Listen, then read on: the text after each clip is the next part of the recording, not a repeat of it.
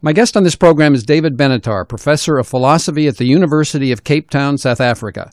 His research interests are in moral and social philosophy and applied ethics. His most recent book is The Human Predicament, a candid guide to life's biggest questions, in which he invites us to take a clear eyed view of such questions as Are human lives ultimately meaningless? Is our inevitable death bad?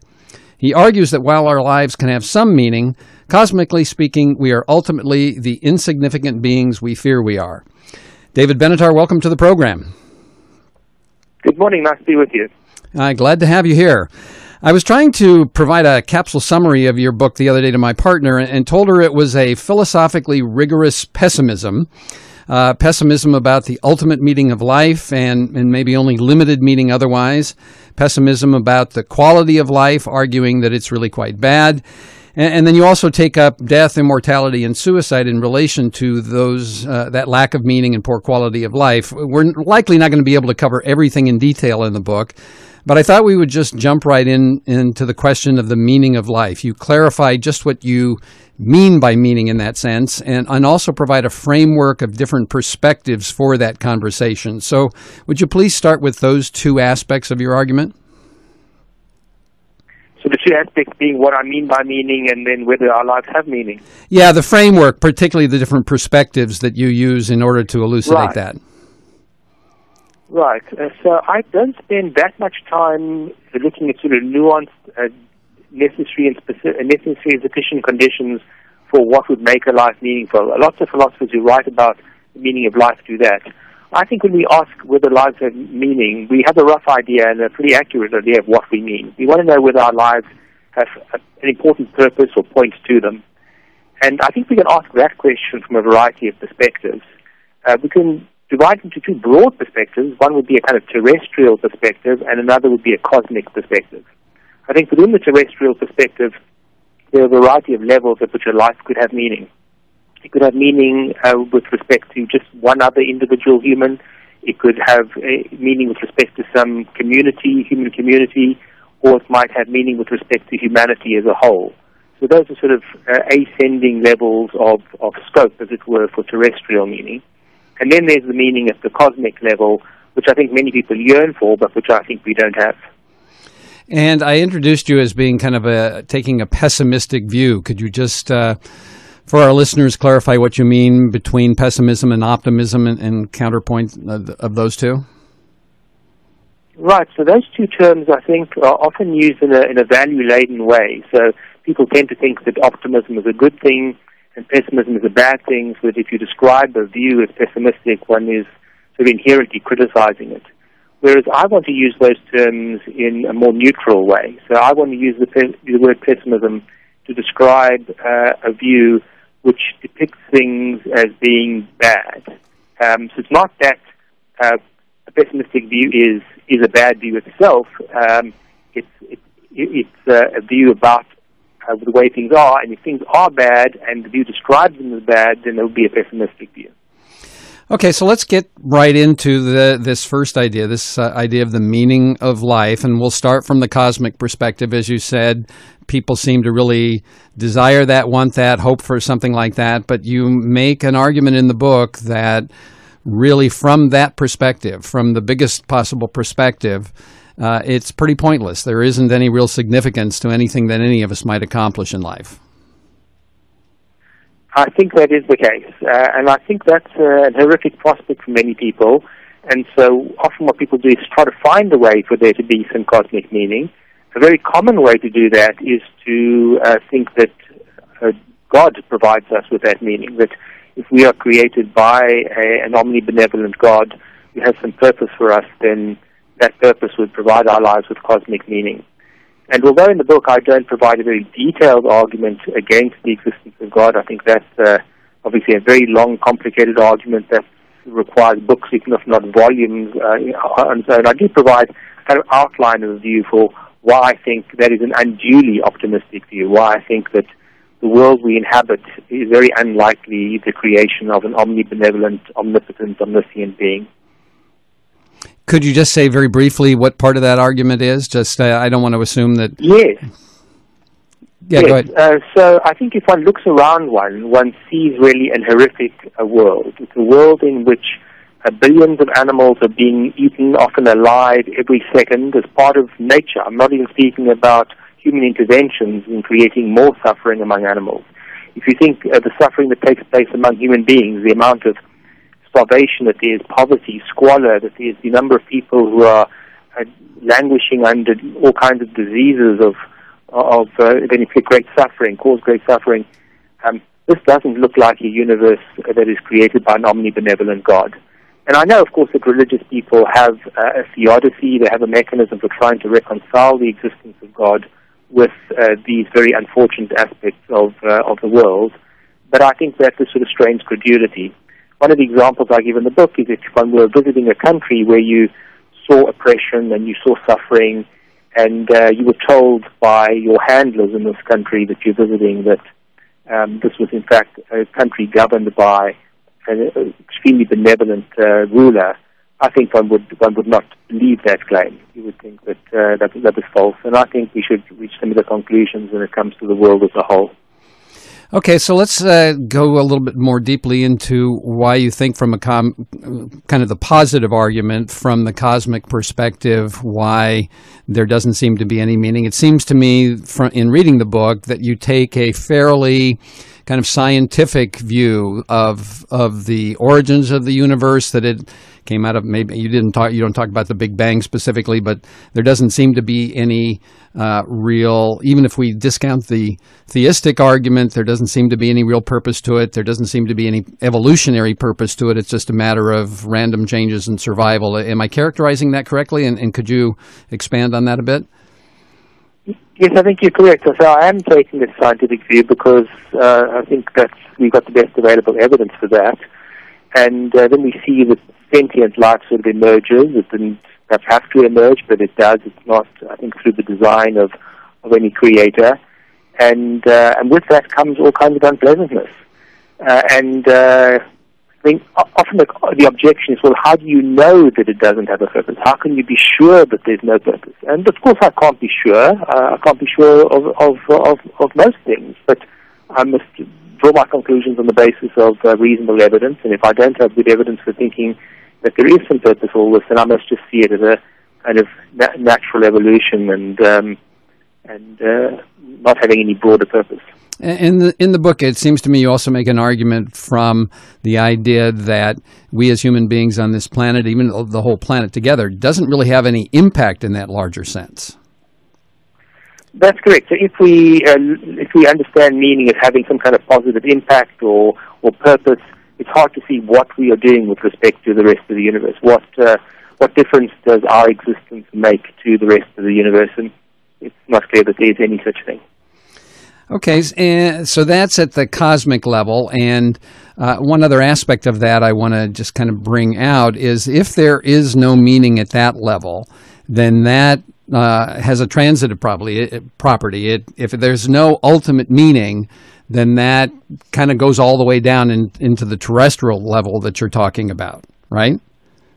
Well, I'm not sure I would say that. So I think there is meaning at the terrestrial level. So I think that uh, certain things that we do can have a purpose uh, at the terrestrial level. So, if, for example, one uh, alleviates suffering, perhaps one invents a drug that uh, relieve, relieves suffering or prevents suffering, well, the activity that one engaged in has had some purpose, it has had some point, and it has impa- impacted in a positive way on people around you.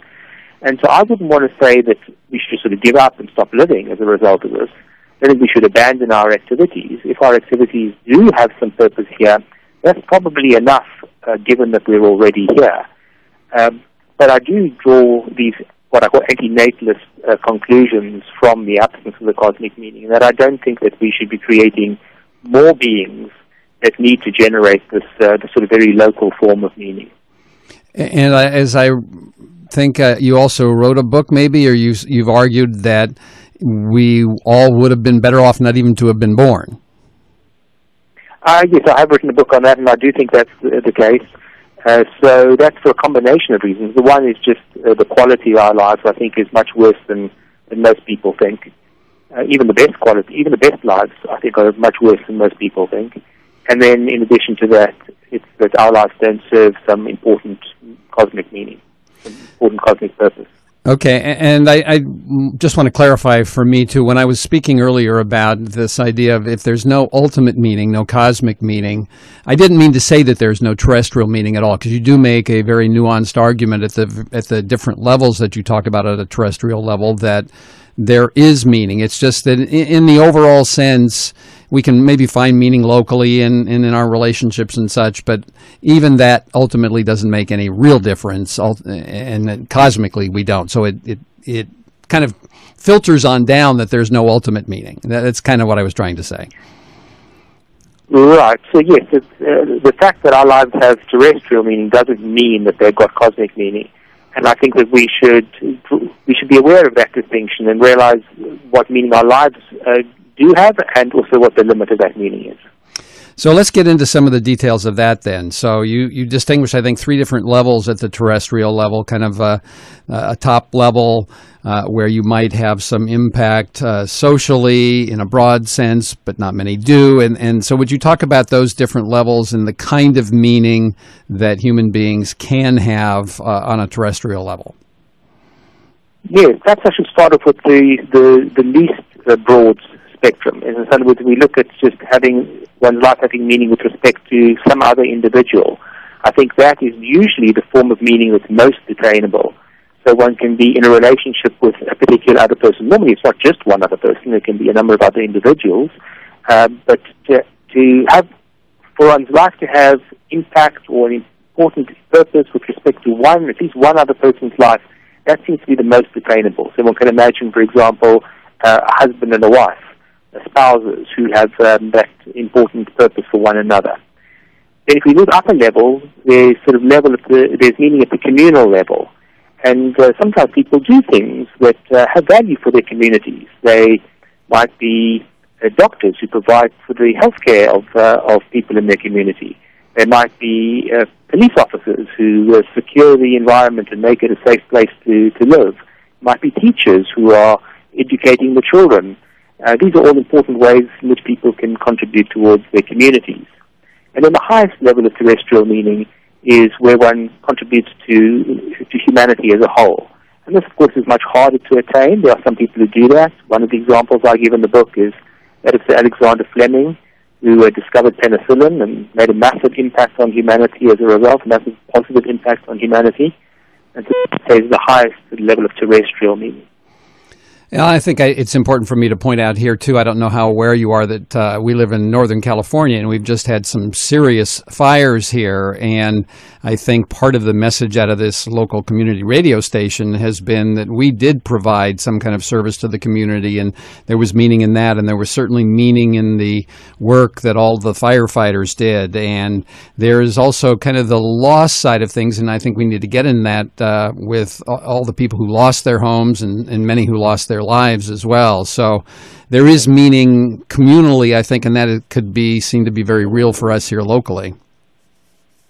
Absolutely. I, I don't think we should undermine that for a moment. So, as I said before, once once we exist, once we're here, we should try to lead lives that are as meaningful as possible.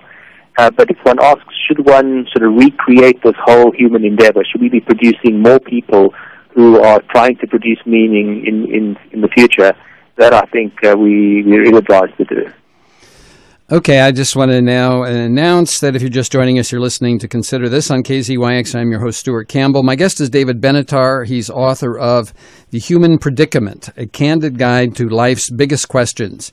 You can find out more on the web at considerthis.us and at the KZYX website.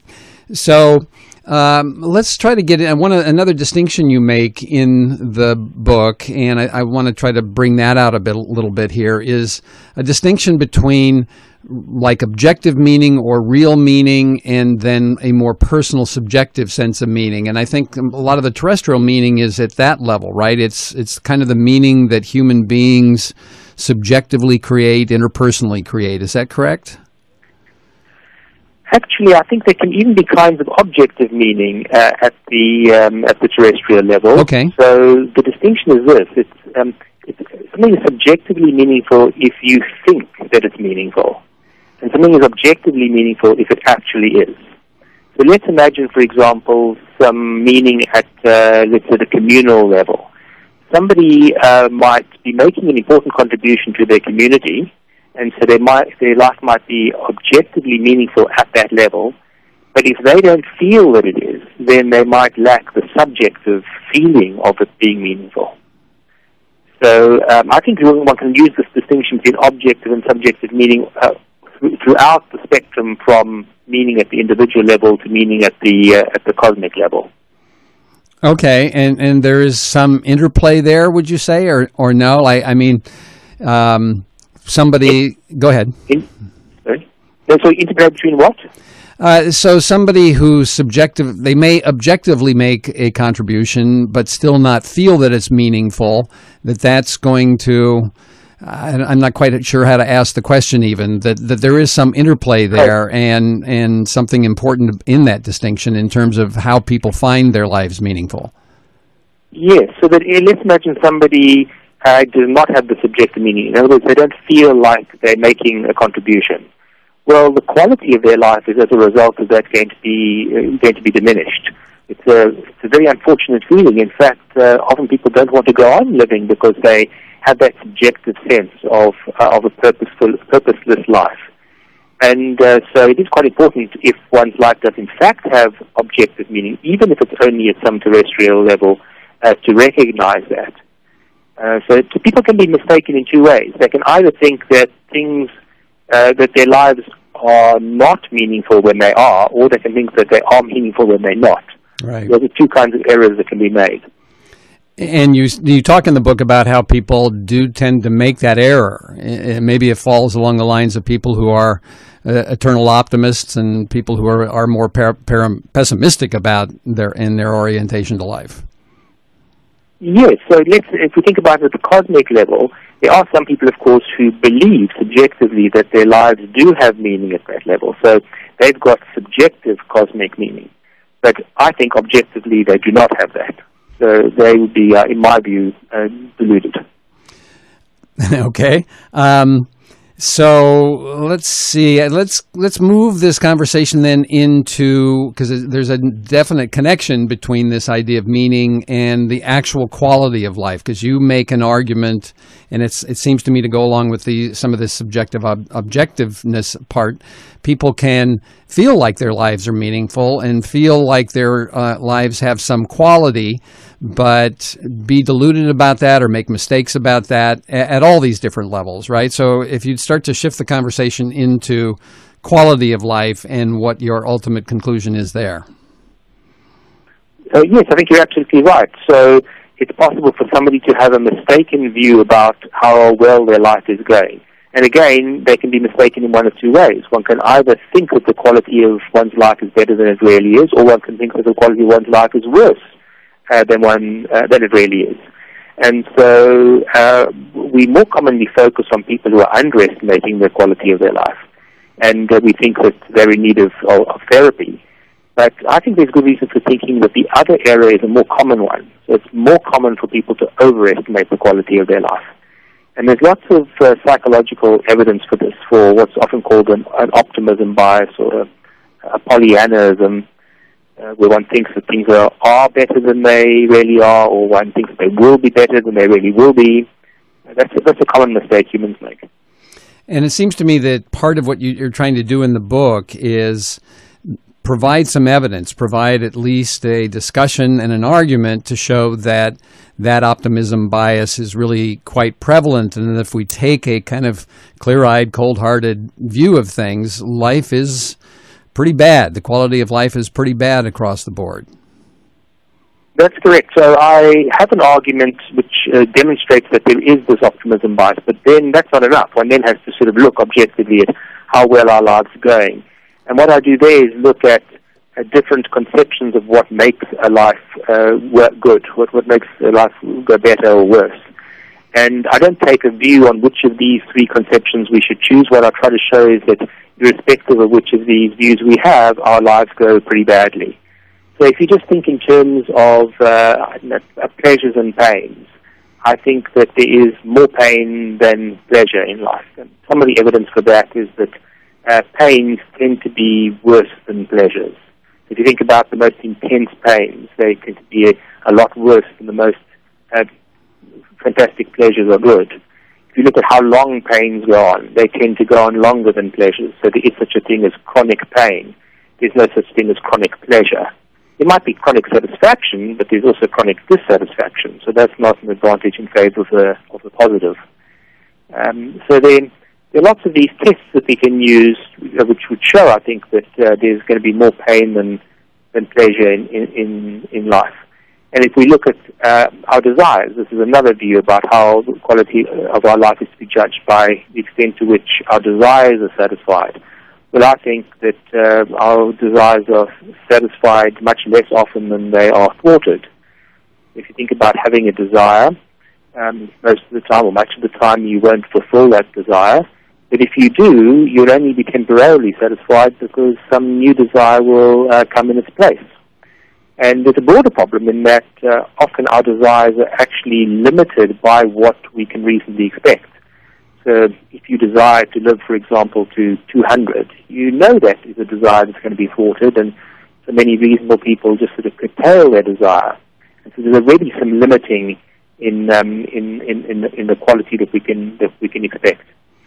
The third kind of theory is about what's sometimes called an objective list theory. And uh, that says that certain things are just objectively good and other things are objectively bad. And if we look at some of those things, I think we see we, fare quite badly. So let's imagine you take, I don't know, a long life to be a good thing. A long life with the stipulation that it be with a reasonable quality. Well, on the spectrum from uh, living for a second or two to living for centuries or millennia or even forever, uh, we are much closer to the lower end of the spectrum. If you think that knowledge is a good thing, then think about how much uh, any individual knows from nothing to everything. Most of us are very close to the nothing end of the spectrum, not towards the omniscient end of the spectrum. So lots of things that we take to be objective goods, if we look at them, uh, as we say, a clear-eyed way, we're not faring too well at all.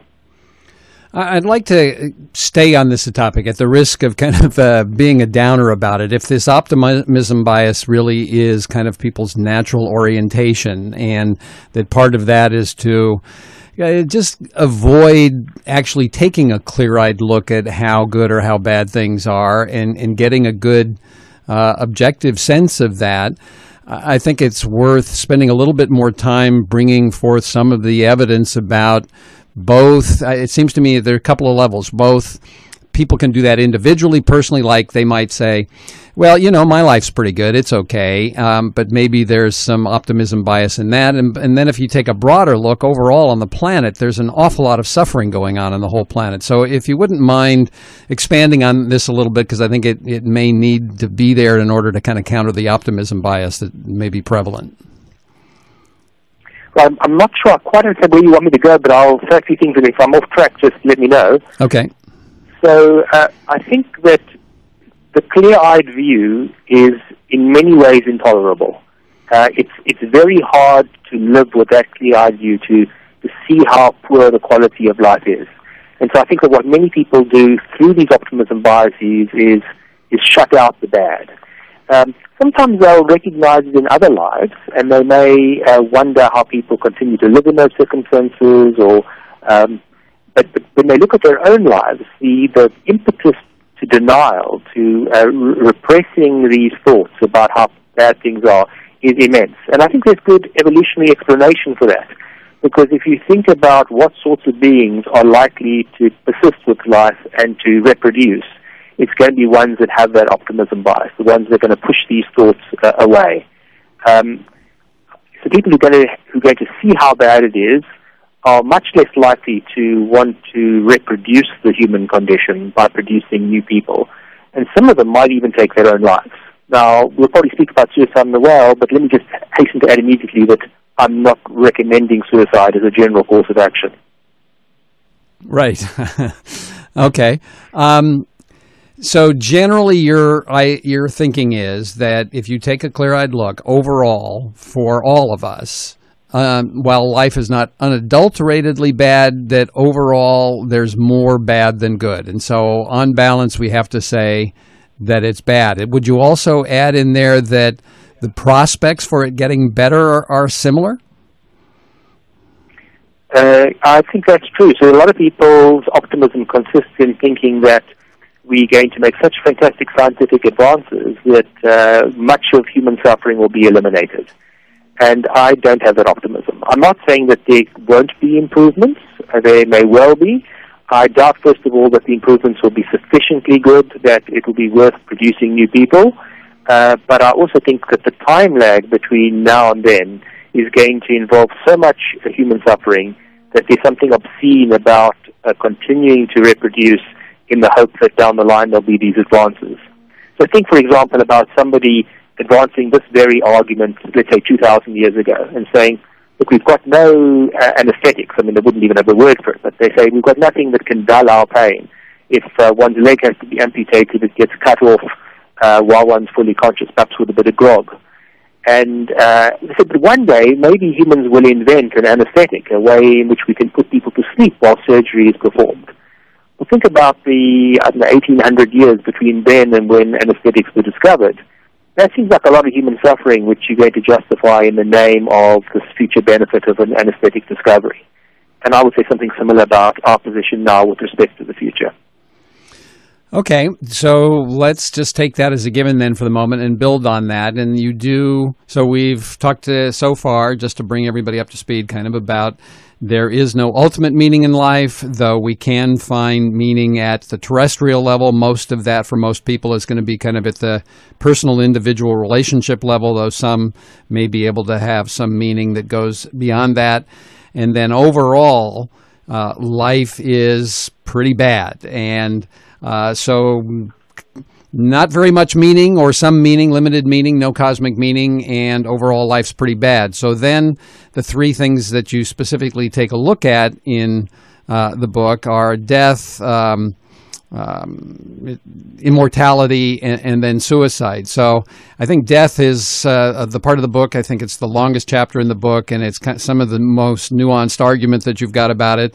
And maybe we can't get into all the details of that, but you do end up uh, coming to a conclusion about death as well. So would you start to get in that into that in, in any way that you think is going to most communicate it for people? Yes. So, uh, so I think the obvious response to what I've said so far is that if the quality of human life is so bad, then wouldn't it just be better if we were dead? And I want to deny that. Uh, at least I want to deny it as a general claim for all human beings at all times. So I do think that life can get to the point where it's so bad that death is the lesser of the two evils. And so I do want to retain that possibility, and I do want to argue for suicide under those conditions. So when one really is in extremis, uh, there are no prospects of, uh, of recovery, let's say, when suffering unspeakably, it may be that though death is bad for you, it's going to be the, the lesser of, of two evils. But it doesn't follow that all of us should right now take our own lives. Because when I say that our lives contain more bad than good, it doesn't mean that they contain more bad than good right now. It might be that um, once we hear we have an interest in continuing to exist, that that interest has not yet been defeated, though our lives might degenerate to the point later on where they um, they do become so bad that the interest is defeated. So that's why I think my my views about the quality of life don't entail the view that uh, that we ought to take our own lives now. So I'm not sort of recommending uh, recommending suicide. Um, I also think that even when um, death is the lesser of two evils, it is still an evil. And that is because I think we do have this interest in continuing to, to live. And that's why I think uh, the human condition is in fact a human predicament. So we're caught between a rock and a hard place. Um, the quality of life is not great. On the other hand, the only way out of that is to die, but dying comes at a cost to us. And so we're trapped. Once we're here, we're trapped. Whereas if we'd never been brought into existence, we would have no interest in coming into existence, no interest in continuing to exist. And so that's really the only way of avoiding the human predicament. It's, it's not to be born. Once you are, it's too late. Okay, so let's delve a little bit deeper into the argument about death. You say death is is a bad, is an evil, and you have a fairly well articulated argument for that. Now, it may seem obvious to people that death's bad, but um, I think maybe if they were to read the book and read the chapter, it may, might not be quite so obvious. And so, I'd like you to get into just a bit of the detail about why death is bad. Correct. So I think you're quite right that the natural view, the ordinary view that most people have is that their death is something to be avoided, it's something that would be bad. Uh, but there is an ancient philosophical argument going back to Epicurus uh, that death is not bad for the person who dies. It might be bad for the people who are left behind because they'll mourn the deceased, uh, nor is Epicurus saying that dying is not bad because dying can be quite a painful and unpleasant process and He's not denying that, but he's saying death itself, not the process, but death itself is not bad. And that, he says, is because uh, where you are, your death is not, and where you, when you're dead, you aren't. And so you and your death don't sort of coexist. And so for that reason, your, your death can't be bad for you. Now, there are various presuppositions behind this Epicurean argument, and one of the things that I do in the book is uh, is examine those presuppositions and see if there's a if there's a good response to Epicurus, and, and he follows. Uh, I do have a caller coming in. Uh, my callers, uh, listeners know that sometimes I open the phone lines at about this time. So if you do have a question about the meaning of life, the quality of life. Uh, once again, you're listening to Consider This. I'm your host, Stuart Campbell. My guest is David Benatar, author of The Human Predicament, A Candid Guide to Life's Biggest Questions. You can give us a call at 707 895 2448. Uh, David, I'm going to go ahead and take the first call. Hi there, you're on the air. May I have your first name, please? Laura. Hi, go ahead. Good morning. I just received a report from the head of the Department of Psychiatry, Ed Bullmore at the University of Cambridge, saying that depression, unhappiness, hopelessness is not a mental illness, but rather a physical illness uh, caused by inflammation, which can be resolved by taking anti-inflammatory drugs. And this is something that vaccination clinics have known, but could not explain. So this is uh, revolutionary, and I would like to know what uh, you think about it. Okay, good. I don't know, David, if you Thank know you anything about the details of that particular idea, but it certainly seems to go to the quality of life issue. So, so I should just say that that was very faint to me. Okay. Uh, but I think I got the I think I got the gist of what was being asked. Um, it was about about depression being caused by physical phenomena. Yes. Exactly. Um, so, uh, look, I can't judge that question, um, but I think there are questions surrounding what depression is. And uh, I think given our society's optimism bias, we tend to label as depressed uh, many people who might just have a an accurate view about the nature of the, of the universe and the, and, and, uh, and the amount of suffering that there is. So I do think that people can have a grimmer view of the world than they really should, and those people might be de- depressed without good cause. They might have a an unhappy outlook w- uh, without being justified.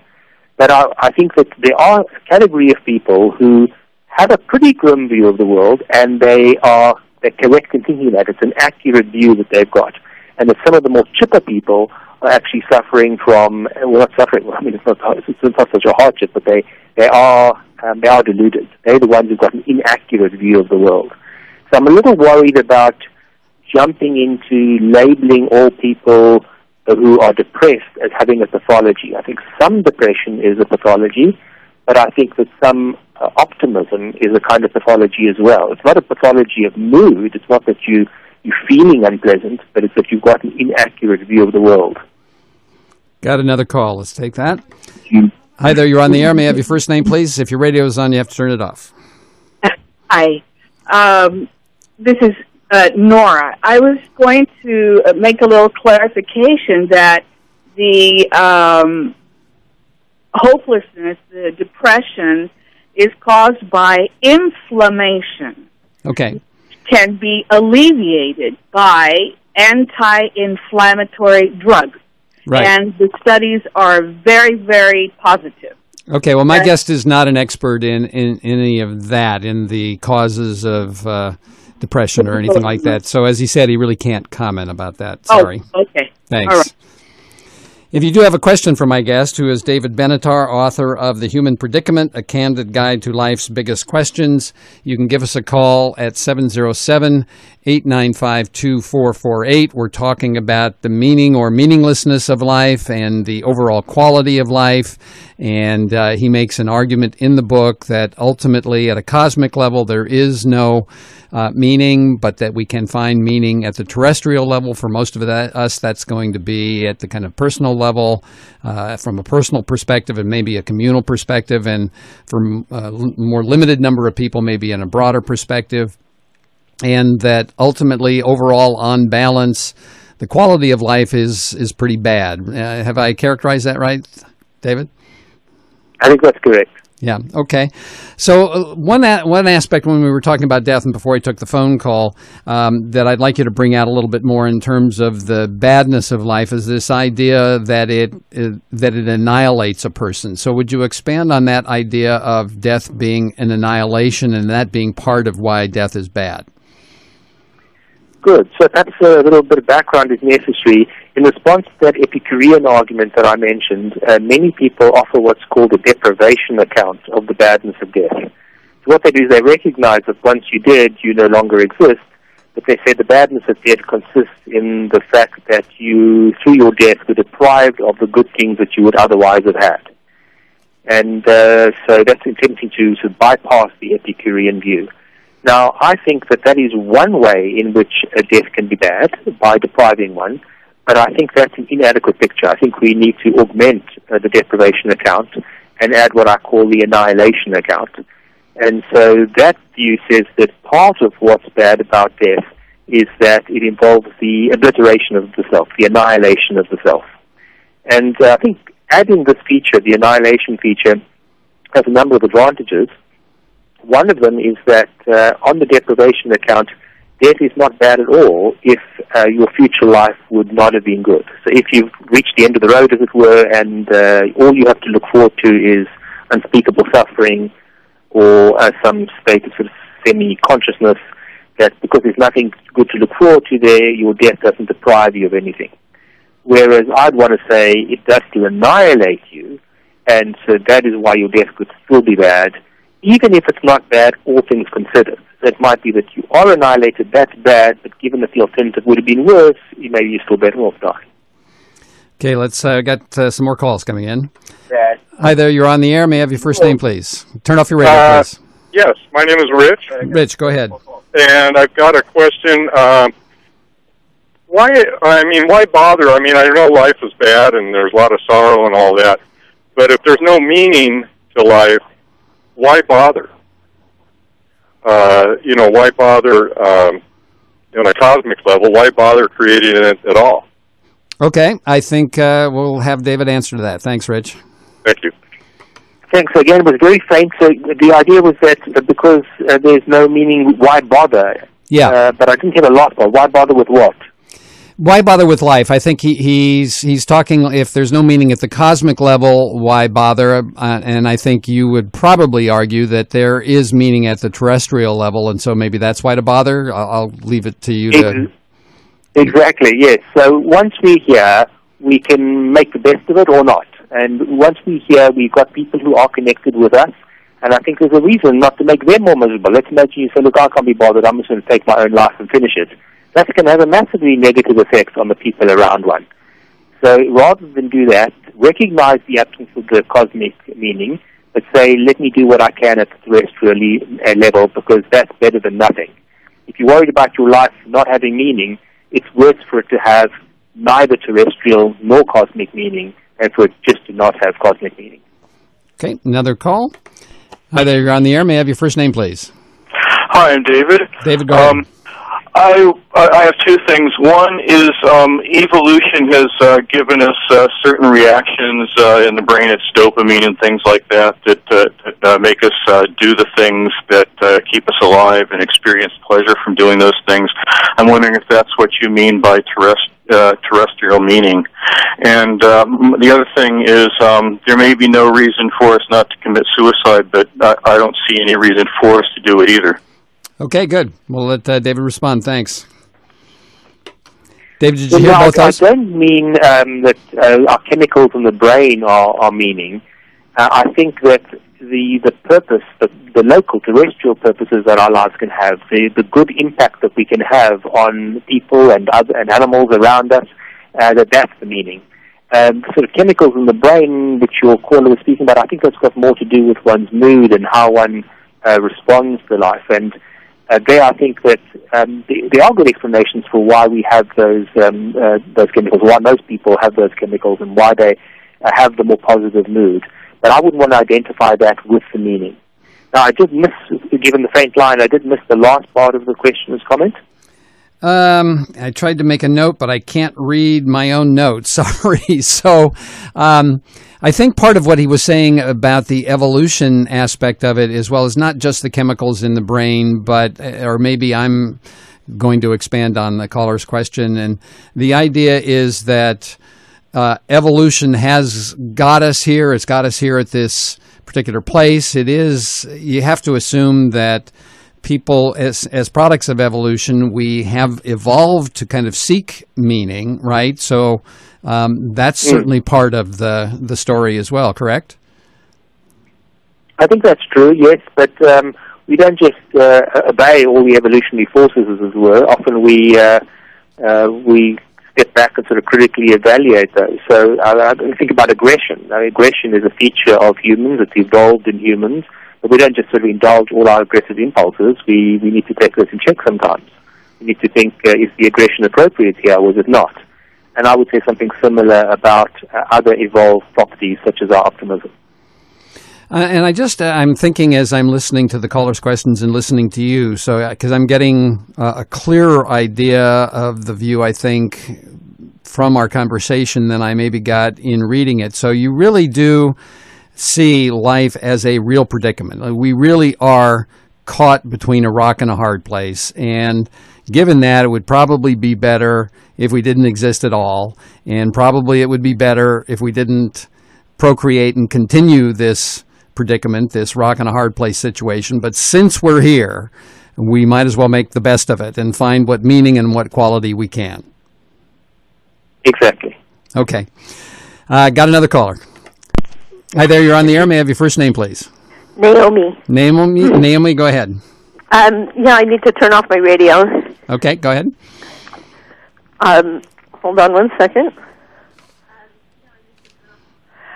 Yeah, um, I'm glad that you just said that. You know that since we're here, we might as we might as well make the best of it. Because up until that moment, I was thinking, gee, this is such an individualistic, me firster type of uh, approach that you know it leaves out the whole social dynamic that while we're here, we need to make it better. And that may take a long time, but we're working it out. And that is what makes us feel better and makes us feel like living. And I think that would be part of the meaning uh, uh, that you find at the terrestrial level, right, David? Well, I don't Uh, know quite what you mean by the don't know why terrestrial level. I don't Well, we're both- differentiate so sorry. much between that. I think that we're suffering under the rule of the patriarchy, and that is how we have evolved, like it or not. And it's a culture of death. It's a culture of of um, one individual, a male, at the top, and everyone else having to um, give up something to that being at the top instead of having a egalitarian, non-hierarchical um, way of organizing, and that makes all the difference. Okay. When you have, when you don't, when you have that that wonderful freedom of equality, of true equality, then you want to live because it feels good and you do good things. So that's my comment for that today. Okay, Thanks Naomi, I think I got a couple of themes that uh, David can pick up. Thanks. So sorry, uh, you were both talking, David, over at, at the same time, and I so I let her Sure. go. Go ahead. D- you have a re- immediate, immediate No problem. response? Yes, sir. I couldn't quite understand why your caller thought that it was such an individualistic view, because throughout what I've been saying is that terrestrial forms of meaning are all ways of reaching beyond the self to other people, whether it be another, another individual, uh, a human community, or the human species as a whole. So throughout what I've been saying is that the meaning is to be derived from the impact, the positive impact that you can have uh, on others. And so it's about connections with other people. That's exactly what it's about. Um, I don't think that a more egalitarian uh, society solves. I mean, clearly there are problems with hierarchical societies or unduly hierarchical societies. That's just a, another of the many problems uh, of, uh, of human life. But even if we were to eliminate that and have a more egalitarian system, we would have all kinds of other problems. And in fact, all kinds of attempts uh, in, by humans to have more egalitarian societies where we all just address one another as comrade, those tend to be very oppressive societies. Now, perhaps that's not the ideal egalitarian society, but even if we could, uh, contrary to the fact, establish the most uh, ideal egalitarian society, there'd be all kinds of other features that are beyond our control, including um, disease and suffering and things which might not be a product of a hierarchical society, or might not be exclusively a product of a hierarchical society. Let's take another call. Hi there, you're on the air. May I have your first name, please? Yes, Alan. Alan, go ahead. Yeah, hi. I'm baffled by the proposition uh, that it would somehow be better if we were uh, we didn't exist. I mean, how how it just seems an absurdity. Okay. Um, should you want to take uh, David? Yeah, he, really good, and have them address that. Okay, thanks. So, Dave, Sorry, I did not hear that at all. I don't okay. know why the line is so faint, uh, but perhaps you can just. Yeah, maybe the phone connection. Yeah, Alan is asking. It seems that uh, it would be. It seems to be an absurdity that it would be better not to be here at all. I think that's many people's initial reaction, uh, and I think that is because of the evolutionary forces that operated on us. Uh, I think what happens is we, we are here now, and when people are asked imagine the possibility that they were not here, what they incline to is the idea of them vanishing. And what they're really imagining is their death. Whereas if they really thought carefully about what it means, it means that they would never have come here in the first place. Now, that I then find an absurd idea. I mean, obviously, billions of possible people who've never been made actual. Uh, and we don't sit around mourning the non-existence of those people. We don't say, gee, what a bizarre, absurd phenomenon that all those beings that could have come into existence haven't. And so those of us who aren't here, I think, will be unlucky for you, not very lucky for you. Got another call. Hi there, you're on the air. May I have your first name, please? My name's Heather. Heather, go ahead. Okay, well, uh, it was the anniversary of Earth Day. I don't know, some maybe the 20th anniversary of Earth Day. Uh, this thing was published about where they'd done uh, the math to figure out is the Earth worth saving? How much would it cost to to uh, heal, repair the environment, uh, and how much are these uh, resources that would be saved uh, worth in financial value? And what they came up with was that the Earth was indeed not worth saving, and um, and so I remember being happy because I thought, oh great, now they'll figure out that they're doing the math wrong, right? They'll figure out that the math is wrong. this is the same thing. This conversation, it, it is framed. There is a frame of thought. There is a, a thought process. There is a there is a, a foundation and a framing of this conversation that is in error. And so everything about it is in error. It is meaning does not equate to value. Okay? Okay. There is value in life. This is a godless conversation. This is godless. This is this is a disease of godlessness. And if if his his life doesn't have any meaning, which it might very well not, I would just say, why are you here? And don't let the ozone layer slap you in the butt on your way out. Thank okay. you. Goodbye. Thanks, Heather. We got it. Uh, David, were you able to hear the get the gist of that? I got the gist of that. I think what we saw in that caller was a sort of aggression that one uh, often finds in response to this idea. And I've been on the receiving end of many, many much worse comments than, uh, than that. Um, your caller was relatively polite in not sort of explicitly suggesting that I kill myself, but many people have suggested that I do that. Unfortunately, they just not listened or understood the argument. Um, I, I, not that my argument entails that I ought to take my own life, and it's not that I'm recommending that other people routinely take theirs. Right. So there's very little I think one can say to people who are not listening and engaging carefully with the argument. Uh, she did make uh, one point that I wanted you to draw out because I think you make it in the book. Uh, perhaps I'm remembering incorrectly, but that, that, you do draw a distinction between meaning and value, and uh, I think it's it seems to me too that some people can not hear the what they don't hear in the argument is that you are saying there is meaning, there is terrestrial meaning. There's just not any mm. cosmic meaning, so it's not like you're denying meaning at all. Um, and, and, exactly. So, if you want to elucidate that a little bit, and, and do you draw a distinction between meaning and value, or do you see use them mostly synonymously? No, no, I don't uh, use them synonymously. I think there is a difference uh, between those. Uh, positive meaning would be one kind of value, but there are plenty other values as well. Uh, and I don't think that my view is a valueless view. Uh, often my view is described as nihilistic, and I think it's nihilistic in some sense. In other words, if you're asking me, is it nihilistic about cosmic meaning? Absolutely. If you're asking me, is it nihilistic about value? David, you there? Uh, David, are you there? We might have lost the connection. That would be too bad because we are getting close to the end of the hour here. Uh, David, maybe can you hear me at all? Uh, I think we've lost him, and I think that we just don't have the time to bring him back. So I'm going to go ahead and wrap up the conversation. Uh, try to summarize as I've been trying to do, maybe uh, here in the end. He is not making an argument that there is no meaning to life. He's making the argument that there is no cosmic meaning, there is no ultimate meaning to life. So, from the biggest possible perspective, uh, part of that argument is that we really don't, as human beings, have any impact in the larger sense. Um, he does make a brief argument in the book. One of the standard responses to the idea that there is no ultimate meaning is, well, that uh, some religious argument that provides some meaning. And he makes a, a, brief argument, though he doesn't go into all the detail about why a religious argument might not be able to provide that kind of meaning. Um, so he is talking about that there is meaning and that the real meaning in life once we are here is in our relationships with people. We can do that at a personal level, at a communal level, and maybe, maybe even at a broader cultural level that's less available to most people. Well, I do have a couple of calls, so maybe I'll try to squeeze one in. And I, I don't know that he can. He, he's not here to respond, but maybe I can. Hi there, you're on the air. May I have your first name, please? Yeah, this is Mitch. And, Mitch, uh, go ahead.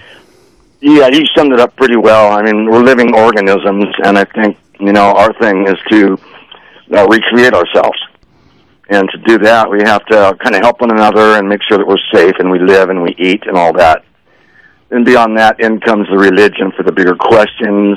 And I have, you know, all kinds of theories about that. You know, is it crowd control? Is it to scare us? Is it to answer questions we can't answer? But basically, yeah, you said it. We're here just to, you know, stay alive and recreate. That's what animals do. All right. Thanks, Mitch. Hi there. You're on the air. May I have your first name, please? It's Don. Don, go ahead. Uh, I, just a just a small uh, examination of the yin yang symbol, uh, because using the terms bad and good so so dualistically and so, such Western dualism but with the Asian mind, you know, the, uh, the, the, the yin yang symbol has a black fish and a white fish, but the black fish has a white eye and the white fish has a black eye. So the, the, the, the darkness emerges from light and, and light emerges from darkness. To just call things bad and good is, is to ignore the fact that things change constantly and, and are emerging from each other. Okay. So, there. That's all I had to say for now. All right. Thanks. Mm-hmm. Appreciate it. Okay, well, we are getting down to the end of uh, the hour here, and I think I'm going to leave it right there on this. And uh, in two weeks, on November 10th, my guest will be philosopher Tim Crane. We'll be taking up the religious uh, argument a bit in that show. He's the author of Meaning of Belief, The Meaning of Belief, Religion from an Atheist Point of View. You'll be able to listen to this uh, edition of the show or download it later on today at either the show's website, considerthis.us, or on the kzyx.org website, where I also have links to authors and books discussed on the program, as well as a listing of upcoming shows. Tune in for next week's edition of Politics a Love Story with host Bob Bushansky in this same time slot. And stay tuned to my colleague Gordon Black, who's now in the studio for The Wondrous World of Music, which follows right after Pulse of the Planet. And I'll talk to you again in two weeks. Thanks. Researchers trying to grow poison ivy in a lab discovered that mysteriously all their seedlings would be destroyed by a fungus. I'm Jim Metzner, and this is the pulse of the planet. And we began to ask ourselves the question why would poison ivy plants harbor a fungus that would kill the seedlings of the next generation. John Jelesko is an associate professor in the Department of Plant Pathology, Physiology, and Weed Science at Virginia Tech. He and his team had figured that the relationship between the fungus and the poison ivy had evolved to kill any poison ivy seeds that might fall near a poison ivy plant to avoid unwanted crowding and competition from new plants. But then, how would the poison ivy seeds ever grow? What was a good clue was the fact that the seeds needed some sort of acid treatment in order for them to germinate. At this point, we realized that birds during the fall and winter eat a lot of poison ivy seeds. And that led us to speculate that a migrating bird will come and eat a poison ivy seed that has this fungus on it. And then, as it passes through the bird's gut, called the gizzard, that contains sand that the birds will eat, poison ivy seeds get ground up like a food processor. And what we think happens is the fungus will get stripped off the outer part of the seed